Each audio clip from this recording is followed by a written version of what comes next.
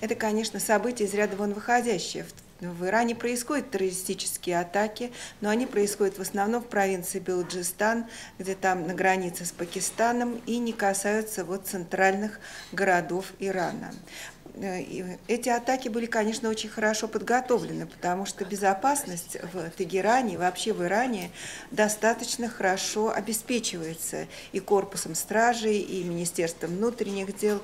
Поэтому то, что э, смертники и несмертники смогли осуществить, это говорит о том, что атаки были хорошо подготовлены. Есть сообщение о том, что ответственность за них взяло исламское государство.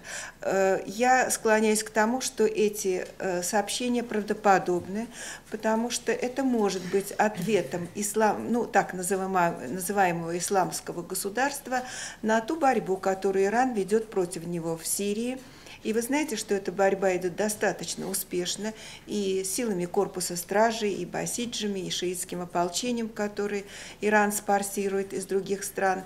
И в этой борьбе уже больше десяти генералов КСИР иранских погибло э, в Сирии.